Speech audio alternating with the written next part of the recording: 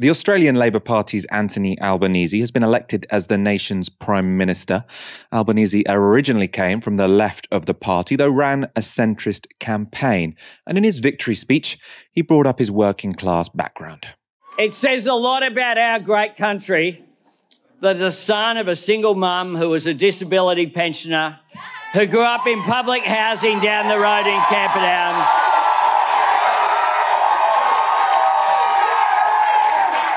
can stand before you tonight as Australia's Prime Minister. Albanese defeated the right wing Liberal National Coalition, whose share of seats collapsed. You can see Labour have reached the 76 seats needed for a majority. That's eight up on the last time around. And the Liberal National Coalition have lost 18 seats down to 59. The losing LibNat campaign was headed by Scott Morrison, the incumbent Prime Minister.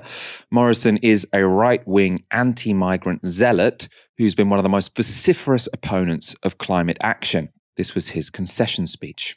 I've always believed in Australians and their judgment and I've always been prepared to accept their verdicts. And tonight they have delivered their verdict, and I congratulate Anthony Albanese and the Labor Party, and I wish him and his government all the very best. A statement like that should not be notable, but after Donald Trump tried to steal his election, it's hard to know how far Murdoch backed right wingers will go. Of course, the biggest ballast for the right in Australia is Rupert Murdoch, but some from the Australian Labor Party seem to have successfully called his bluff. This is how former Prime Minister Kevin Rudd engaged with the Murdoch owned Sky News Australia during the campaign. I would assume that you guys in the Murdoch media would find any piece of dirt on any Labor candidate anywhere in the country. But she tweeted it. To have a go. She tweeted it. No, but I know what you guys are like. But she tweeted it, though. That's right, but you'll do anything anything that Rupert says to undermine. No, we won't. No, no, no. It's a question I have, Mr. I think everyone. I think everyone here agrees with me. no, no, that's a question from me. So, can I ask you, Mr. Rudd, though, while, while I have you live on Sky News, are you are you hopeful of a new of a role with an a- Albanese Labor government if he's elected? Are you hopeful of maybe an ambassadorship?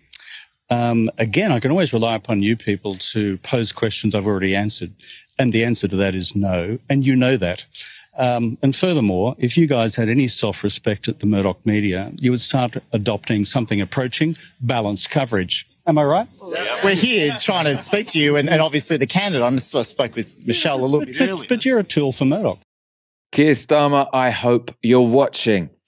And another lesson Starmer could learn Labour didn't win this alone. And in fact, their vote share fell compared to the last federal elections in 2019. As you can see, they're down one percentage point and they remain on a lower share than the Liberals or the Liberal National Coalition. But what got Labour over the line was second preference votes from independents and the Greens. The Greens, with 12% of the vote, had their best election ever. To find out more about the Aussie elections, I spoke to Tom Ballard, a comedian who hosts the Serious Danger podcast, which has covered the election from the perspective of the Greens. I started by asking whether Saturday's vote shows Australia has moved decisively to the left. In a way, yes. I mean, I sure hope so. That's that's for sure. Pretty extraordinary result. The Tory, the Conservative government, the coalition lost 17 seats. Um, including some really high profile people. The treasurer lost his seat. Um, some real libertarian psychos lost their seats. We love to see that. Um, some social conservatives lost their seats, and particularly in these massive heartland seats, these seats that have been in liberal, that's our Conservative Party hands for ever since Federation, have gone to these what are called teal independents. These basically they're disaffected liberals. They're people who, you know, maybe 10 years ago would have voted for the Liberal Party and happily run as Liberal candidates who were just sick to death of this conservative government stance on climate change, uh, on integrity, and on their attitudes to women. So they ran these independent campaigns. They weren't specific parties, but they were individual candidates, and they fully beat them and trounced them, which was great. The Greens, the party that I uh, quite like, uh, increased their representation by 400%. And of course, the Labor Party won a government. It looked like it might have been a minority government, but it looks like they're on track to actually get a, a majority uh, seat. So that is fantastic. The general wisdom is Australian politics is sort of deals with in the centre. We have compulsory voting across the board. So that's sort of a factor. And there are plenty of horrible positions that our Labor Party has taken, which I'm sure that you can uh, relate to in the UK. But overwhelmingly, this felt like a rejection and a shift to the left, in the centre left of the left, in a lot of really very cool ways. So thumbs up to that. On one level, is it a disappointment if the Labour Party get an absolute majority? That presumably will mean parties like the Greens have less influence. Yes, the, the strategy from the Greens generally was to have more influence in on the crossbench to get a minority Labor government and have a whole bunch of Greens MPs there so that we could push the Labor Party further and faster, particularly on climate action and on you know lifting poor people out of poverty. You know, actual good things that you would think the Labor Party would be on board with. Uh, that strategy has I mean, it's worked out very well for the Greens in terms of increasing their representation. But yes, with the Labor Party, with a majority in the lower house, they will form government and will be able to introduce legislation as a majority themselves. That was also the strategy of those Teal independents. They were hoping to, you know, pack the crossbench so that they could influence the government. Looks like they will have way less influence than you would think, even though they did pick up a whole bunch of seats amongst them. But in the Senate, in the upper house, the state's house, that is where the Greens have formed a big part of the crossbench. That's where the party will have some serious influence. The Labor Party says they're not budging at all on their climate targets of a reduction of 43% by 2030, even though that puts us on track to two degrees of warming.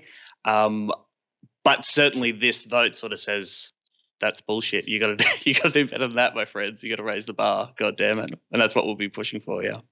And what does this election result mean in terms of climate change? I mean, obviously, f- from people outside Australia, one of the most significant outcomes could be that Australia stops being that block to climate action that it that it has been.